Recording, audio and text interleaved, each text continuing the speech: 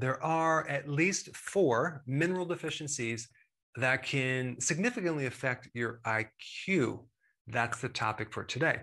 Generally speaking, it's your intelligence, it's your ability to solve problems, it's your ability to learn and understand certain things. There's a memory or a recall component to it. And some people say, well, you know what? Your intelligence is really finite and either you're born with it or you're not.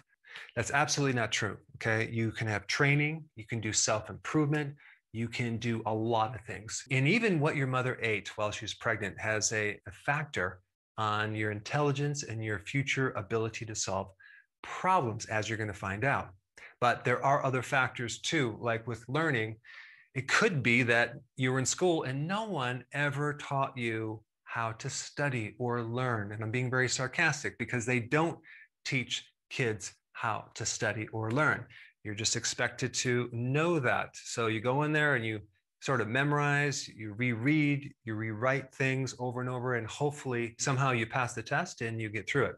But today I want to really focus in on the nutrient part of your intelligence. So, probably one of the most influential trace minerals, which you don't need a lot of it, but you need a little bit of it. And if you don't have that little bit, you're going to be in big trouble because if you're deficient in iodine as a child, your IQ can go down significantly, like 13 points. Okay.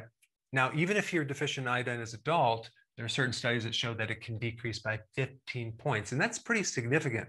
But the crucial time to get iodine is when the woman is pregnant with that baby, as well as when they're breastfeeding. Vitally important.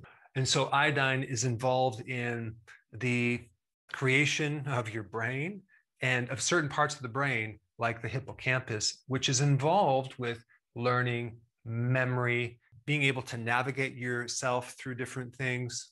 So, primarily, we have the hippocampus and then the frontal lobe involved in problem solving. But of course, how much of these parts of the brain are involved with problem solving in IQ? I mean, it's pretty remarkable. Some people have had huge amounts of trauma and damage to their brains. I mean, destruction of a good portion of the brain, and they still seem to maintain their cognitive function and their IQ. So I just wanted to point that out because we really don't know how much brain we really need. Apparently, we have a lot of extra. Now, the second mineral that is the most important is zinc. Zinc is involved in hundreds of different enzyme reactions. Okay, it's definitely involved with the hippocampus. It's involved with making neurotransmitters. And if you're low on zinc, your IQ is going down. But this zinc correlates with copper. They both work together. So you need this zinc to copper ratio. And when you have children that have autism, for example, there's nearly always extremely low zinc and copper levels. But there's a huge correlation between high IQ and good zinc to copper ratios.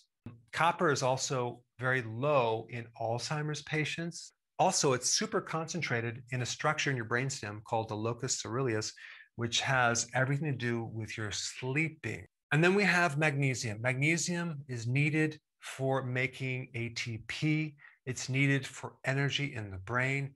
And if you don't have enough magnesium, there is a huge correlation between a lower IQ. And so if we look at this right here, we have, you know, seafood, shellfish, okay? And magnesium, salad, vegetables, leafy greens, but you can also get it in nuts and other foods as well. But seafood, shellfish, very important to get the top three. I wanted to add a few more. Vitamin D deficiency is also correlated with learning dis- disabilities, lower IQ, and cognitive function. So here's another one that's very, very important, especially if you are pregnant. Now, iron also correlates with a lower IQ, probably because it's involved with anemia and red blood cells and carrying oxygen to your brain. Now, there's a couple other things I really need to cover related to this cognitive function. And that has to do with this thing called sugar. Sugar actually makes you stupid. It definitely correlates with a lower IQ. Now, that being said, I do want to make a very important point. Just because someone has a high IQ, just because someone is so called intelligent, doesn't mean that they are sane, okay? They could be very intelligent, but be in completely insane.